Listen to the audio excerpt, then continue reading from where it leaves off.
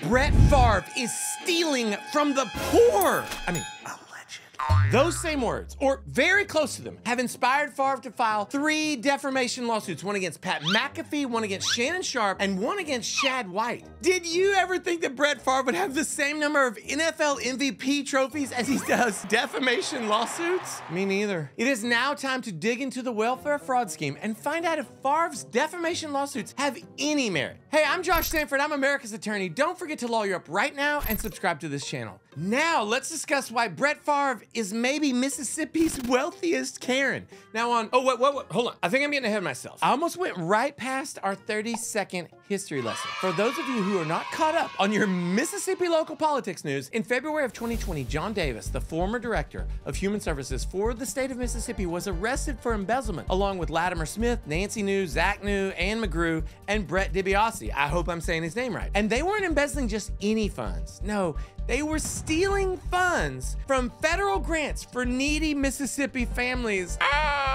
And Brett Favre comes into play because several million dollars of the embezzled funds were used to build a volleyball facility at the University of Southern Mississippi, something that Favre advocated for because his daughter played volleyball there at the time. And some of the money went to directly pay Favre for speaking at events that rumor has it, he never showed up to. And when the news broke, tongues started wagging, which leads us to the topic of these three lawsuits. On February 9th, 2023, Favre filed three separate defamation lawsuits against sports commentators Pat McAfee and Shannon Sharpe and the state auditor Shad White, all for statements that they made either on their shows or in the national media. Now, here's a pic of the auditor knowing a lot about math and numbers and quality control. And then Here's a picture of Shannon Sharpe looking like a Mr. Olympia at age 54. Sheesh. Well, no one wants to see a picture of Pat McAfee. That dude's on ESPN like 20 hours a day. But each lawsuit includes a couple of examples of the supposedly defamatory statements made by each individual. This includes comments like Favre knew that the money was flowing through a nonprofit which was designed to serve poor folks, designed to serve a public interest. And that was from Shad White. Or this one,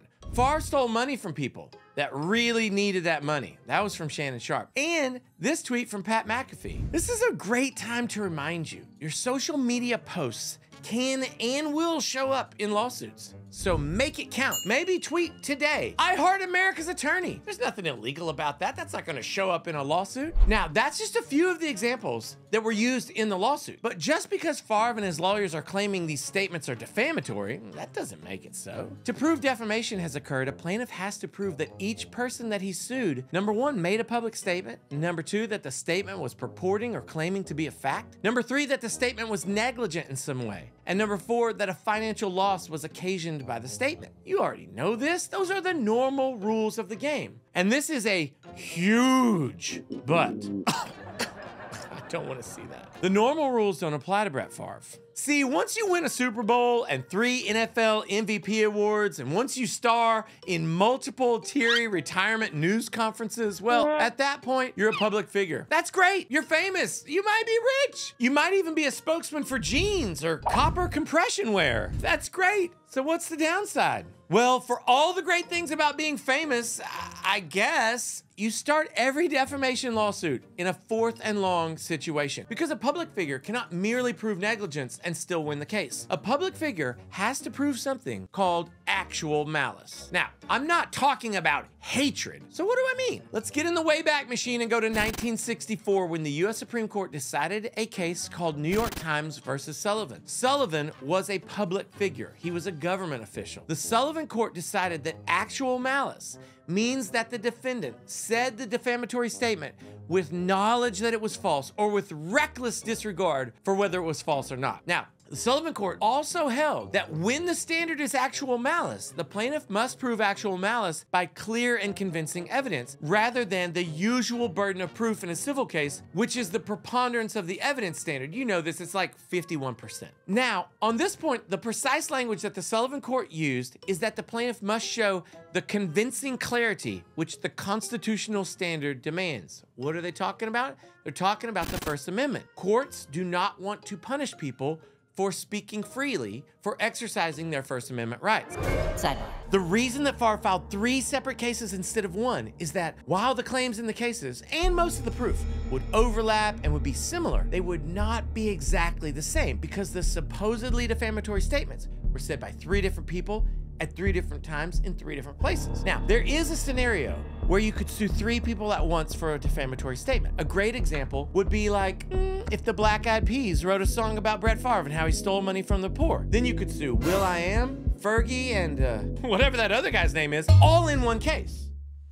Sidebar over. So now that you're on your way to becoming an expert in defamation law, do you think Brett Favre can win his lawsuits? All of them? Two out of three? One out of three? Zero out of three? Look, Brett Favre is not going to win any of these defamation lawsuits. And for several reasons. It's going to be really hard for him to prove actual malice was present in the statements made. He's also going to have a really hard time proving that the statements weren't true because as time passes, it's getting harder to believe that they weren't true. In all honesty, these lawsuits seem to me more like a PR stunt than anything else. He's trying to get public opinion on his side by making a show of like going after the people who spread misinformation about him. And they also made some jokes. Now, if you're like me, Brett Favre was always an easy guy to cheer for. He wasn't highly regarded out of college and he was traded from one team to another for next to nothing. And then he rode the bench for a while until the starter was injured. And then in like a Cinderella script, he came in and he played well. Not well, he played great. He led Green Bay to the playoffs 11 times, and he even won the Super Bowl when he was only 26 years old.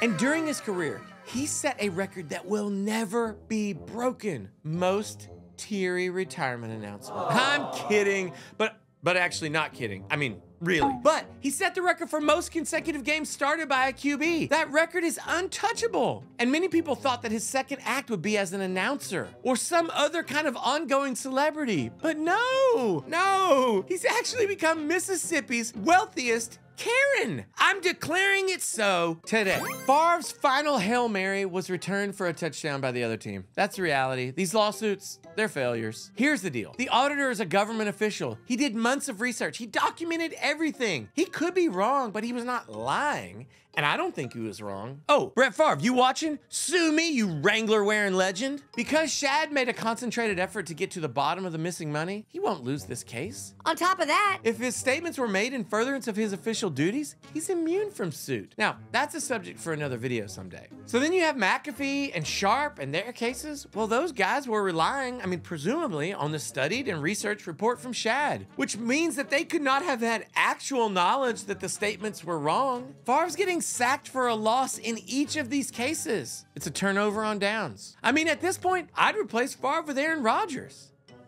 Huh? What? 14 years ago. They did that already. Hmm. All right. Now you know the elements of a defamation lawsuit, and you know my educated guess on how these lawsuits are going to go. So what's left? Oh, right. Your pro se opinion. Drop it in the comments below. Do you think Favre can win any of these defamation lawsuits? has your opinion been swayed about Brett Favre because he sued these people? And what do you actually think of his involvement, whatever it is, in the Mississippi fraud scheme? And make sure in the comments that you use the word allegedly, because you, you, might get Brett Favre's autograph in the mail on a defamation lawsuit. Hey, also make sure you check out these other videos right here. I will see you soon. Bye.